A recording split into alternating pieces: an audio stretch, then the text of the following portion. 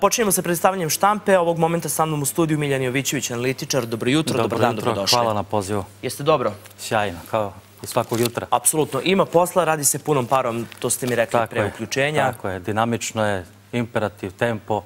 Stvaramo, radimo, doprinosimo društvu kroz zalaganje društveno kroz građansku inicijativu i verujem da to mnogi građani učestvuju svemu tom. Bravo. E, krenut ćemo e, dakle, od čitave priče koja ima veze sa Mađarskom. Dakle, prijatelji, e, predsjednik Republike Srbije Aleksandar Vučić saradnja sa Mađarskom na najvišem e, istorijskom nivou i trude se apsolutno, dakle, Mađarska i Srbija, da Srbija što preuđe u Evropsku uniju. Vi pretpostavljamo imate neki komentar na čitavu priču. Tako je da je bukvalno naša država sa Mađarskom je na istorijskom maksimumu kada govorimo o dveju zemalja. Mhm. Sa druge strane, upravo ekonomski odnosi koji su se produbili su intenzivniji, obimniji, veće su investicije u pitanju i to vam dovoljno govori u suštini u stvari politike. Mhm. Kada gradimo ekonomiju, kada je ta gradacija na nekom najvišem stadijumu, upravo kao što naša država prikazala u ovom slučaju i radi se na tome, nastavit će se taj kontinuitet. Znači, dosta je kapitalnih investicija od strateškog značaja koje je potrebno da iznedre i da ovaj projekat između Srbije i Mađarske koji je začet od 2012 a trebalo bi da od 2028. da se okonča sa železničkim koridorom, zaključno sa tim. Također veliku inkluzivnost treba naći i energetski sektor kada govorimo o tome. Upravo panonski koridor za prenos električne energije koji bi trebali zaključno do 2028. godine da se okonča. Kada pogledamo samo unazad, vratimo se 12 godina i govorimo upravo ono što najviše zanima naše građane i privrednike, a to je ta trgovinska razmena kada se o tome govori, bile 768 miliona. Da bi danas, prošle godine, tačnije, bila na 3,3 milijarde i 100 miliona. 400 od 100, na četiri puta više u odnosu na samo pre 12 godina. I to je dovoljan jedan parametar za novo ulaganja, upravo železnički koridor koji će nam omogućiti mhm. veću transparentnost, veći protok je na transverzala koja će privući nove investicije. Znači, za relativno kratko vreme će se stizati iz Beograda do Budimpešte, između dva grada koje su istorijski i kulturno značajna. Tako je, brza pruga.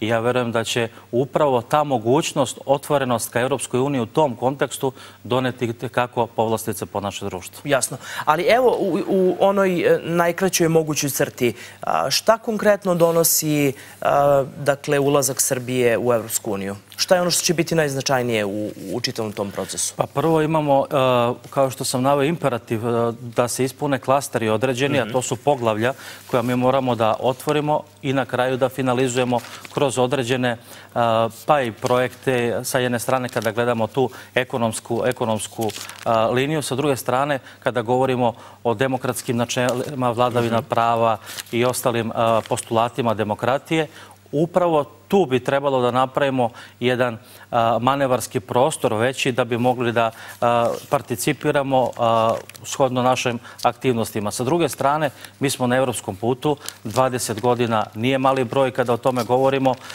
dosta je uključeno i diplomatskog korpusa mnogo više nego što je to bilo ranije. Sada se prilika daje i tom nezvaničnom lobiju, pa i medijskom lobiju koji ima upliva u našim kontaktima kada govorimo iz inostranstva i to dodatno govori o tome da se intenzivno radi i približavamo se na neki način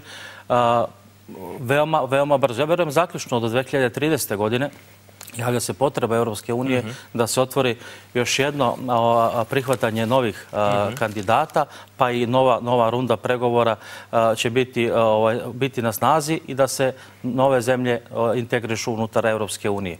I ja verujem da će naša država se naći na tom. Jasno. I sad imamo tu situaciju da veliki broj e, dakle, zvaničnika ne samo iz Evrope nego i sveta dolazi u posjetu zemlji Srbiji. E, između ostalog i predsjednik Republike Srbije Aleksandar Vučić obilazi dakle, zemlje i njihove zvaničnike i to opet vrlo često bude na meti kritika. Kako to komentarišete? Pa, dugi niz... Mislim na opoziciju.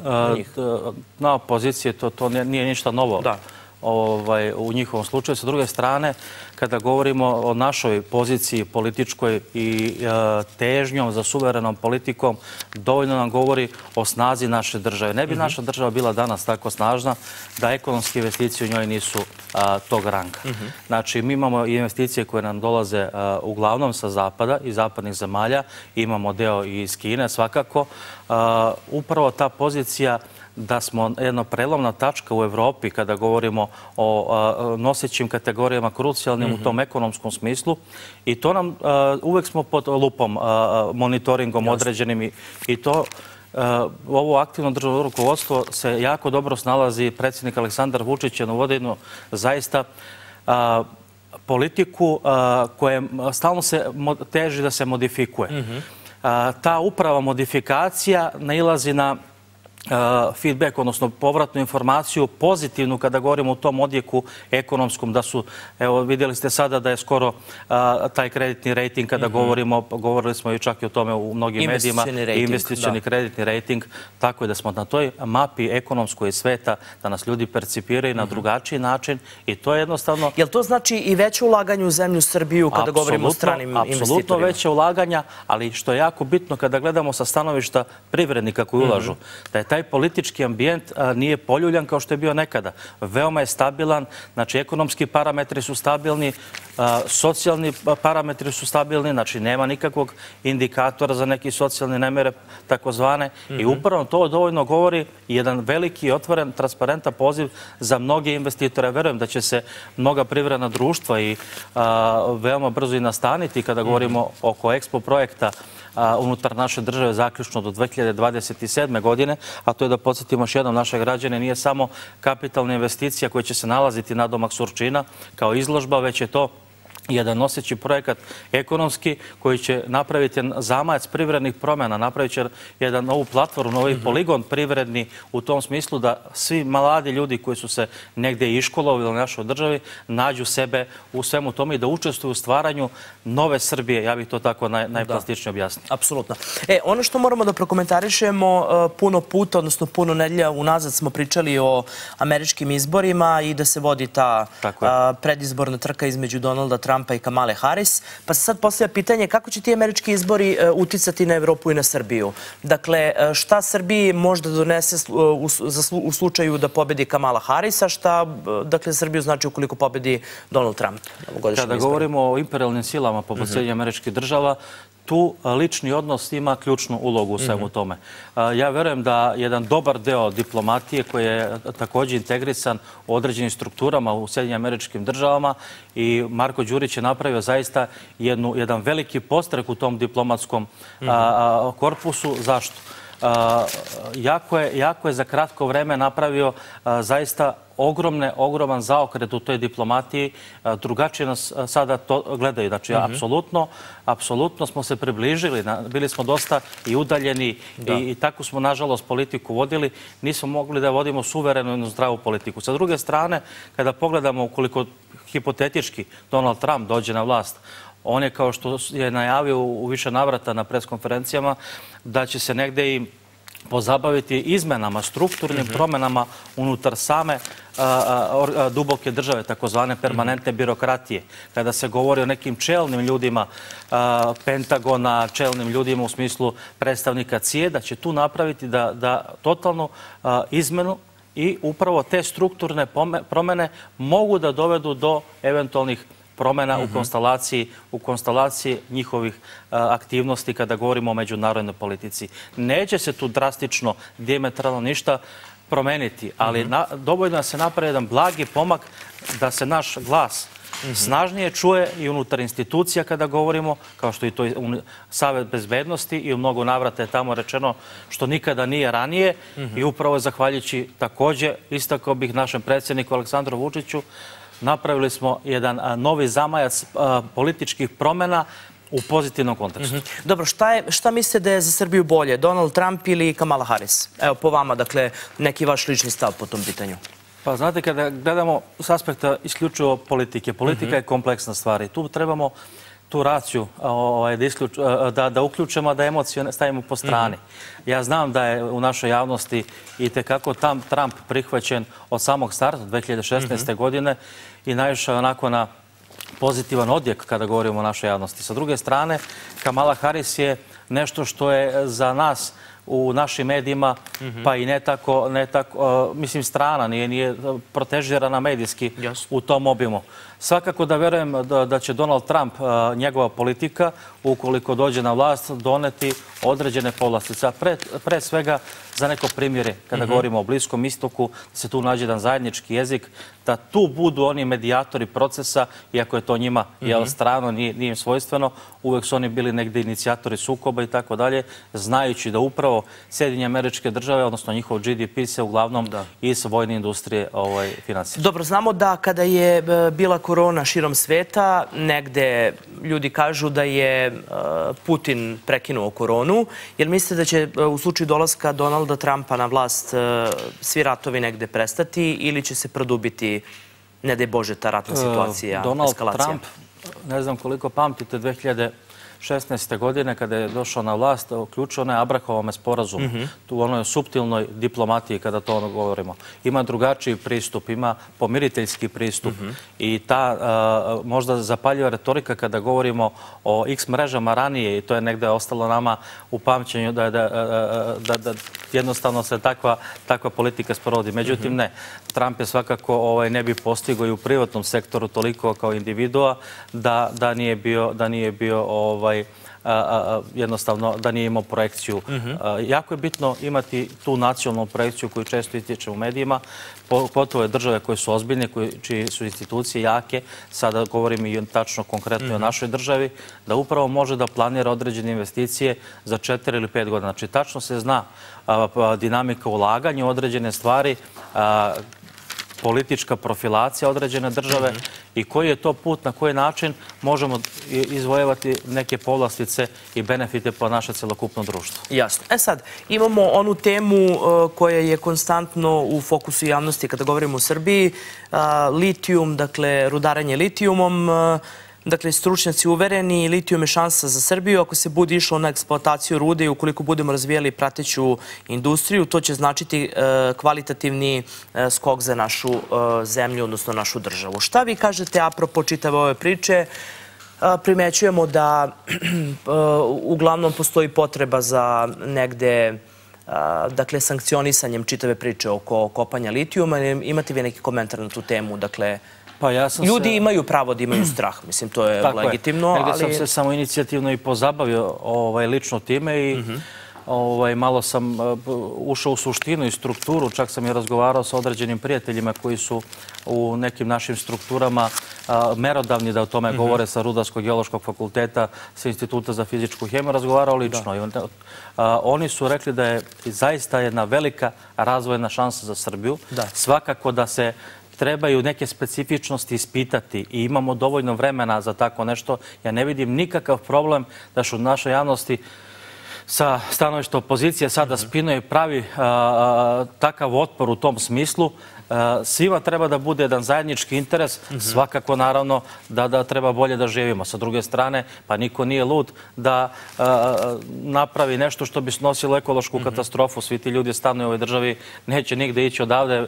Tako da mislim, suluda priča da se na tom rangu medijskom popne da bi se polemisalo. Ali zašto si polemiš? Samo jedno pitanje, a zbog čega već sada znamo da mora da prođe neki vremenski period u smislu eventualnih priprema, istraživanja, da li to može da bude štetno ili ne može da bude štetno pozdravlje građana Srbije, a zbog čega već sada spinujemo informacijama da kopanje može da bude destruktivno pa, pozdravlje građana Srbije? Oni lažni ekolozi, što nemaju nikakvu suštinu ekologije, da vi sednete sa njima i da porazgovarate mhm. malo, da vidite strukturu njihove komunikacije i njihovih informacija, da zaista nema nikakvog normalnog mhm. ovaj, ničeg normalnog u tome. Sa druge strane, upravo ova tema, koristi se svaka tema koja bi mogla da se politički kapitalizuje, da se iskoristi na neki način, da se ide na rušenje institucija, da se ide na rušenje predsjednika.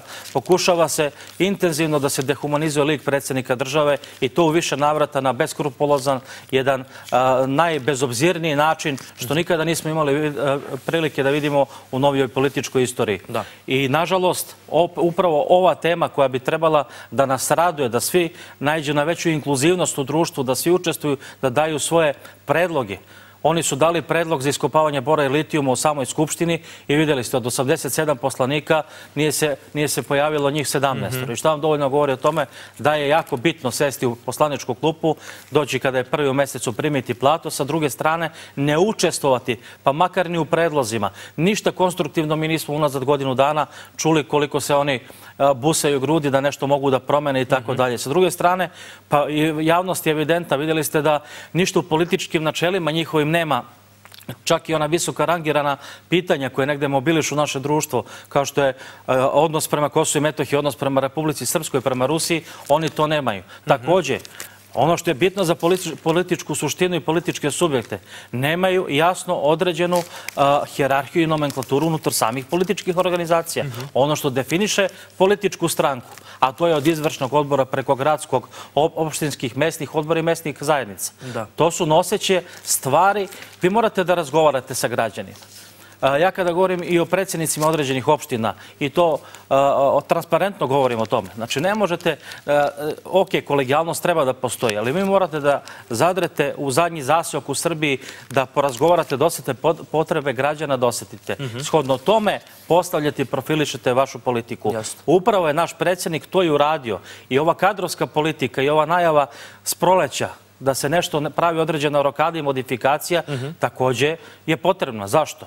Imate dosta ministara, državnih sekretara i pomoćnika ministara mhm. koji su se, nažalost, uspavali. Upravo kada ovi projekti, koji su i tekako vredni i bitni, dolazi, treba da stupe na snagu, jedan deo jedan deo ministara se negde ovaj povukao i postoje inferioran, apatičan u tom smislu. Mhm ljudi ne moraju da budu ni stranački opredeljeni, ali treba da budu patrioti da cene ono za što se svi mi boremo i u medijskom prostoru i koji ljudi koji su od javnog značaja i treba im se dati prostora. Mhm.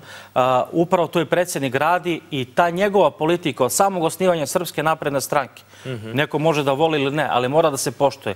Iz kog razloga? Trud i rad trud i rad, znači 24-7 e, gospodin radi, e, e, obišao je, ja ne znam, ja mislim sve države u svetu, nema gde nije bio u više navrata, dočekivani su predstavnici određenih zemalja ovdje, također on išao ovaj, kod njih. I država geografski mala i ne po značaju, mhm. daleko od toga, ali da ima takvog respekta u svetu, to nećete naći, verujte mi svi. Dobro, samo kratko, šta generalno Srbija gubi ukoliko propusti ovaj projekat Jadar? U smislu ukoliko ne bude rudarenja, ako ne bude kopanja, šta mi gubimo kao zemlja u tom nekom finansijskom kontekstu, novim radnim mestima, šta god? Ovo u periodu 99. da ste pomenuli, mhm kada smo bili u bili smo u bankrotu u svakom mhm. smislu, budžetska kasa bila ispražnjena i e, da ste tada pomenuli da se našla ruda poput mhm. naše Jadarit na našem podneblju. Pa ja verujem da bi svi ovaj, e, pristupili svemu tome i govorili e, otvorenije, pristupili bi da se eksplatiše ta ruda, našli bi načina. Mhm. Ja vidim sa druge strane da ova pozicija ne traži načina da se to Ovaj, ili traže načina kako da sklone predsjednika, pa da oni dođu, pa da oni to mhm. radi. Više mi liči na tako nešto. Da. Jasno. Dakle, potvrđeno pisanje Srpskog telegrafa, Vučević je izjavio da će pod lupom biti marže u apotekama. Šta kažete vi na ove neke preventivne kontrole koje se sprovodu u zemlji Srbiji, jer malo, malo pa shvatimo da postoje dakle, neki trgovinski lanci, neki objekti, šta god, evo konkretno sada pričamo i apotekama, da negde diktiraju svoje cene koje možda nisu u skladu sa pravilima zemlje Srbije. Pa, svakako da, kao ekonomista reći vam onako iz prve ruke, s obzirom da osnovne životne namirnice u mnogim državama, kada se radi to revidiranje određene ekonomije u nekim fazama, ti ekonomski parametri moraju da se promene. Sada je, nažalost, morala da bude intervencija i sa stanovišta politike i da se premijer uključi u sve to. Zašto? Zato što su određeni grosisti, određene firme koje su koje su ovaj, nastanjene unutar naše države, mhm. zaista sebi dale za pravo da, možemo slobodno reći, narodski pljačkaju naše građane. Da stavljaju marže puta 100 puta 200 puta 300 i da se bogate na račun ove države. Da, šta to znači za našu državu, a šta to konkretno znači za, za upravo te koji To znači za našu državu da javno i transparentno brine o našim građanima. Mhm. Znači, stavila se licem u lice ispred određenih privrednika koji pokušavaju da izgrade monopol. Da. I ne može monopol po bilo koju cenu da se radi. Zna se šta je trgovinska marža, da je to 1,20 i to je nešto što bi trebalo da bude normalno. Niko ne brani normalne su okolnosti za mnoge stvari kada govorimo o ekonomskim aktivnostima u Srbiji i daje im se određene povlastice da bi se zaposlili ljudi, što je i primarno u ovom trenutku, mhm. a sa druge strane neće se svakako tolerisati politika koja se kosi sa diametralnim nekim i sociološkim i ekonomskim načelima kada govorimo unutar naše države. Da. Gde je Srbija negde po pitanju ekonomskog napretka danas? Kako vama deluje e, negde razvoj naše zemlje u nekoj bližoj budućnosti, da ne bude to predaleka budućnost? Projekti koji su planirani, mhm. pa upoznat sam sa 99%, mogu slobodno tako i ovaj, karakteristati projektima koji su predviđeni zaključno sa 2027. Mhm. godinom, zaista za 12 godina smo napredovali ko što neke članice Europske unije nisu ni za 50 mhm. u tom ekonomskom smislu. Po prvi put se vodi račune o toj disperziji novčanih sredstava, ravnomerno raspoređivanje unutar svakog regiona u Srbiji i to vam dovoljno govori da se oživljava Srbija na jedan pravi način. Ulože se također ravnomerno u sve društvene sfere, kada govorimo o obrazovanju i o MUP-u i o policiji i o zdravstvu.